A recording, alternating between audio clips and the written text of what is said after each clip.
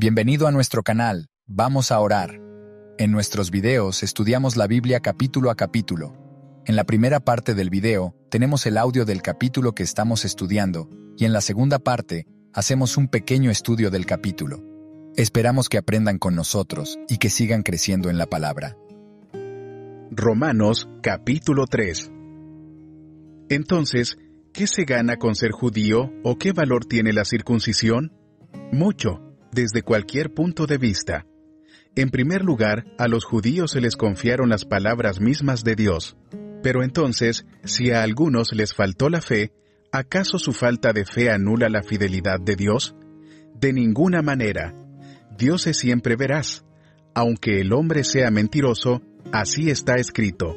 Por eso, eres justo en tu sentencia, y triunfarás cuando te juzguen. Pero si nuestra injusticia pone de relieve la justicia de Dios, ¿qué diremos? ¿Qué Dios es injusto al descargar sobre nosotros su ira? Hablo en términos humanos. De ninguna manera. Si así fuera, ¿cómo podría Dios juzgar al mundo?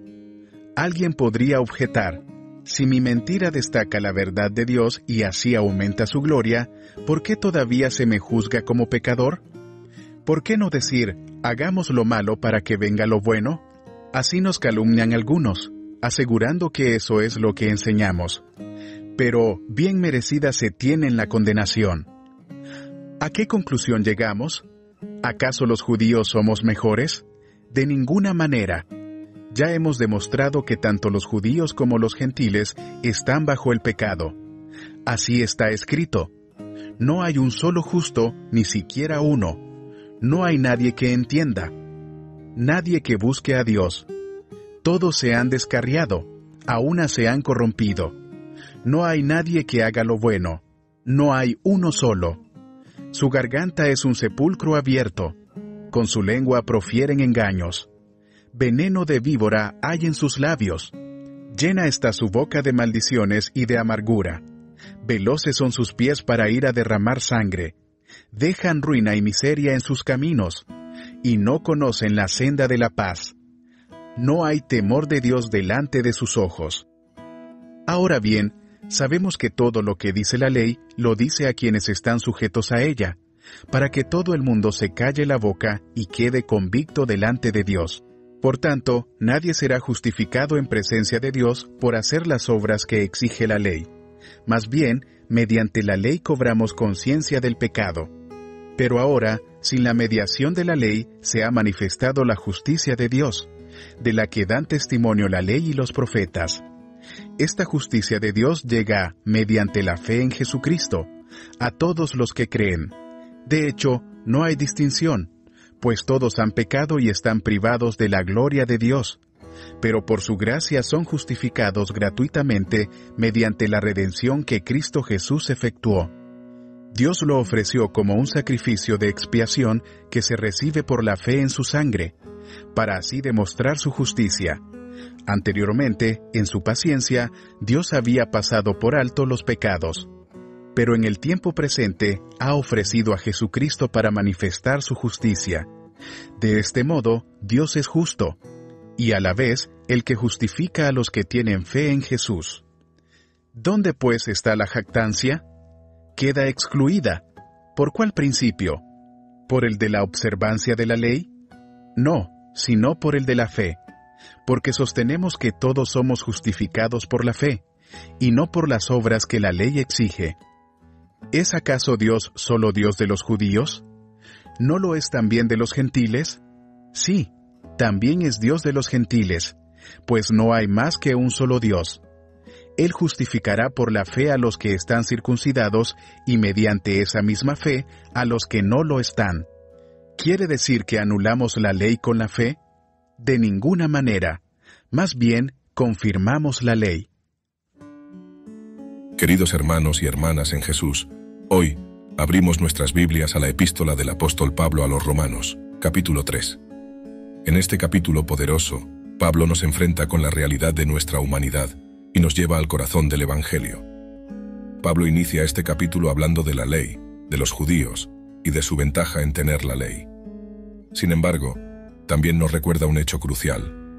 Todos, tanto judíos como gentiles, hemos pecado y nos hemos quedado cortos de la gloria de Dios. No hay excepciones. La ley, que fue dada para mostrarnos la santidad de Dios y el camino de la vida, se convirtió en un espejo que refleja nuestra pecaminosidad y nuestra necesidad de salvación. La ley nos señala nuestro pecado, pero no tiene la capacidad de limpiarnos de él. Afortunadamente la historia no termina ahí. Hay buenas noticias, el Evangelio, que se nos revela en el versículo 22. Esta justicia de Dios viene por medio de la fe en Cristo Jesús para todos los que creen. Todos hemos pecado, sí, pero todos estamos justificados gratuitamente por su gracia, mediante la redención que es en Cristo Jesús. Esta es la maravillosa noticia del Evangelio. No podemos salvarnos a nosotros mismos, pero Dios ha proporcionado el camino de salvación. Jesús, la propiciación por nuestros pecados, se ofreció a sí mismo en nuestro lugar, pagando el precio de nuestros pecados y satisfaciendo la justicia de Dios. Aquellos que ponen su fe en Jesús son considerados justos delante de Dios, no por sus propias obras, sino por la obra perfecta de Jesús en la cruz. En todo esto, Pablo destaca un punto esencial en el versículo 27. ¿Dónde queda la jactancia? Queda excluida. No podemos jactarnos de nuestras propias obras, porque no somos salvos por nuestras obras. Somos salvos por la gracia de Dios a través de la fe en Jesús. No hay nada de lo que podamos jactarnos, excepto de Jesús en la cruz. Entonces, ¿invalidamos la ley mediante la fe? No, al contrario, confirmamos la ley. La ley, en su verdadera intención, nos lleva a Jesús. Reconocemos nuestro pecado, reconocemos nuestra necesidad de un Salvador, y esa es la función de la ley, señalarnos a Jesús.